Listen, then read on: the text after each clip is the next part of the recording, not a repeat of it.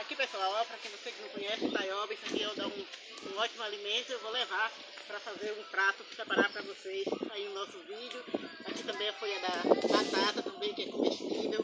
Você pode comer também, que é muito rica em vitamina.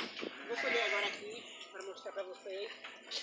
Como você for tirar sua taioba, você tem cuidado para não tirar as folhas, para você proteger ó, a próxima folha que vai nascer. E aí você faz um ótimo alimento, você pode usar o caule e as folhas para você preparar na sua cozinha. São uma forma que você encontra de se alimentar na roça. Descarta essa. Aqui tá bom, ó. Uma colação. E aqui um leite, mostra o... Hum, vem uma nova! Uma o nova! Mostra aí pro pessoal aí. E agora as cabras. Olha as cabras. Esse é o nosso segundo vídeo aqui no sítio, com os netos. Mostra o galinheiro lá, mais o pessoal ver o galinheiro. Os micos ali, ali no, É amigo leão, não é o. no saguinho, Não sabe, não é. aqui no pé de mangueira. Macaco. Vó, dá pra mim entrar aqui dentro. Pra quê? Muca entrou! Deixa eu continuar aqui. Ô, Muca, sai daí! Sai daí, Muca, eles vão te pegar. Sai daí, Tem uma Muca. nova. Ô, Muca, sai daí! Olha, a menina entrou. Man- Aqui as mangas, pessoal.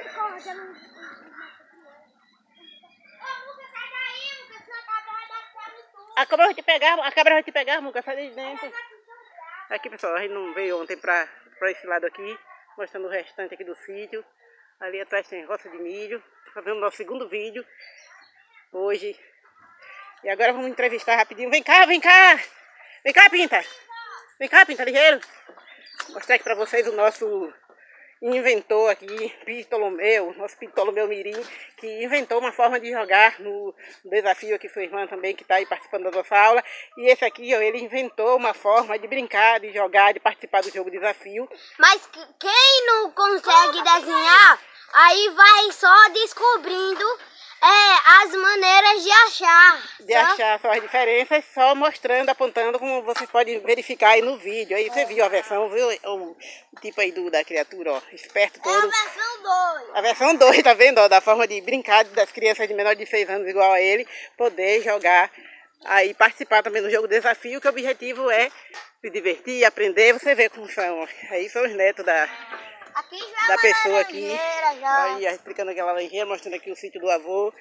Aqui é um sítio onde mora toda a família. Do, dos bisavôs dele, o avô, a Aqui uma família galinha toda. pé de perto. Como é o nome? Galinha. Galinha. Tem quantas raças de galinha aqui, você sabe? Tem uma, pula, uma polaca ali. Galão, polaca. Olha, tá vendo? Sabe mais que eu. Galinha balão, galinha polaca, vários tipos daqui. Daqui de perto aqui as cabras, cabrito. Valo. Tem aquele pé de pena, aquele pequenininho. Sim. Uma vez que eu vim aqui, tinha uns, uns pequenininhos, uns Só que já é, quechel, né? muitos pássaros. E assim foi o nosso segundo vídeo para hoje. Vai desligar não, minha avó? Hum, boa. O nosso segundo vídeo para hoje é, mostrando para vocês e é contando a história. dois. É a parte 2 mostrando para vocês. 2. É, nosso inventor aqui, o nosso Ptolomeu Mirim, que descobriu uma forma de se jogar, que, uma forma que as crianças pequenas, menores de 6 anos, podem participar do nosso jogo desafio, que nem eu que criei o jogo consegui, ele conseguiu descobrir. E foi para isso nosso vídeo para hoje.